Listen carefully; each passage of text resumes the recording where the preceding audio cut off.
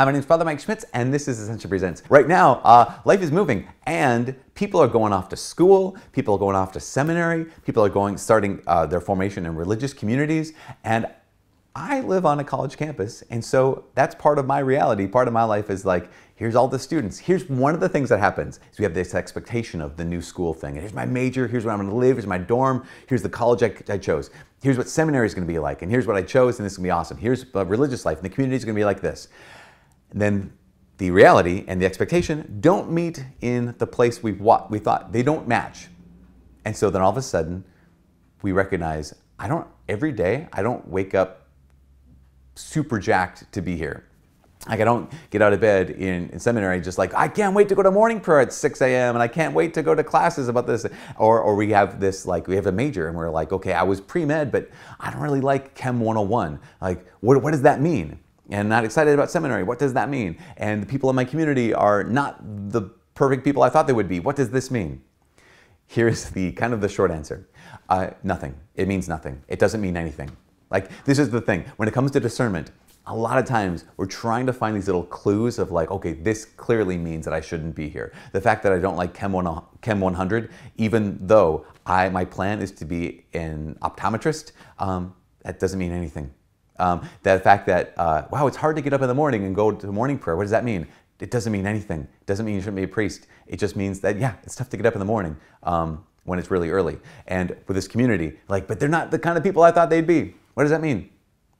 It means that nothing. It just means that they're who they are, not who you thought they'd be. But, but, but no, no, no. I thought that when I got to the right college. I thought when I chose the right occupation, because this is why it doesn't have to just about, be about college. Um, I thought when I uh, started seminary that it would just be like perfect and I'd be in the right place and I would know this and every day I couldn't wait to get take the next step. No, no, no, no, my friend. Here's the thing. There's this thing that my good pal C.S. Lewis calls the law of undulation. And the law of undulation is just basically a rule of life. It's the fact that our lives and almost everything in our lives undulates, right? So undulates like waves, right? So there's peaks, there's valleys. And everything in our lives, um, like the job, it's awesome. And that kind of stinks.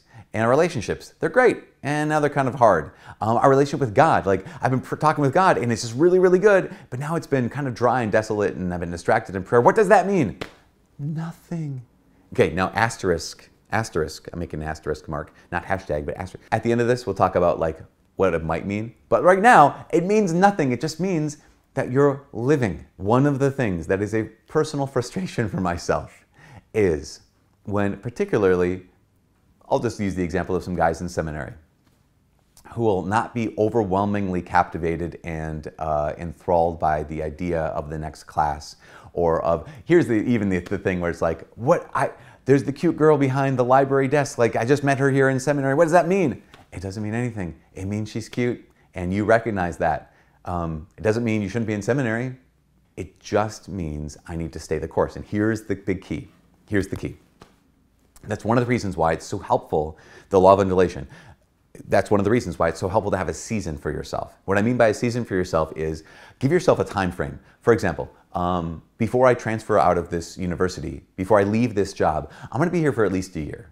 That's that's like my kind of rule of thumb, right? I'm be here for at least a year. For a seminary, like I should be here at least two years. I'm gonna I'm gonna choose to be here at least two years, maybe three. Um, same thing with the religious community. Is like you know just general rule of thumb. I'm gonna give myself this season because I will not know in a month or two months whether I should be here or not. I need to just lean into this season and just live the life.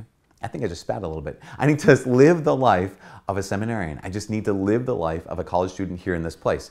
Um, because of course it's going to be hard. Like of course there's going to be this, you know, these valleys. Of course there's going to be this desolation.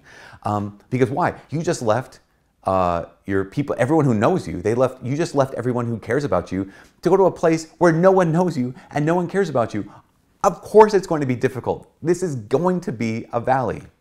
But here's the rule of thumb never change your course in desolation when you knew that this was your course in times of consolation. Okay, again, just in times of desolation, just stay the course.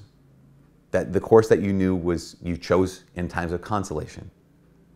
Uh, St. Ignatius of Loyola, founder of the Jesuits, he had pointed this out. He's like, no, no, no. Um, when, the, when you knew something was true in times of consolation, you're going to enter in the time of darkness, enter time of valley, the law of undulation, the time of desolation. So don't change your course in times of desolation, what, what you knew was good and true in times of consolation. That's why it's so good to give yourself a season. I'm here for two years, and then I'll figure it out. I'm here for this amount of time, and then I'll be able to answer this question. But in the meantime, I don't have to ask the question, what does this mean? In the meantime, I just get to live here as a college student, as someone who works in this office, as a seminarian, as a nun in training, something like this. Hopefully that makes sense. Okay, here's the little asterisk thing at the end.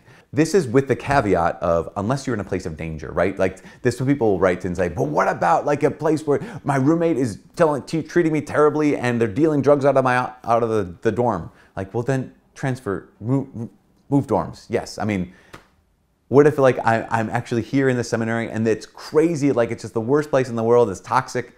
Yeah, then you can leave. But you know what I'm saying? Just use your common sense. That's the asterisk. That's the caveat. Um, that you don't have to stay the course when you're in a place of danger. Just like you don't have to like another question people ask, like honor your mother and father. Like, uh, what if they ask you to do something sinful? Well, then don't do that, right? Okay, so common sense rules. Now, if you want some good rules for discernment, um, there's this great book by Jackie and Bobby Angel called "Pray, Decide, and Don't Worry." There it is in frame. Pray, decide, don't worry. It says Bobby and Jackie Angel with Father Mike Schmitz. That's me. Um, I got to contribute a little bit to their book, and it's awesome. It's published by Ascension, and you can get that because this is Ascension. This is Ascension Presents, and this is Ascension Presents in a book form. So you can check out this book by Bobby and Jackie Angel. They also have another YouTube channel. I don't know if you've heard of them. They're on they're on Ascension Presents as well. From all of us here at Ascension Presents with Ascension, my name is Father Mike.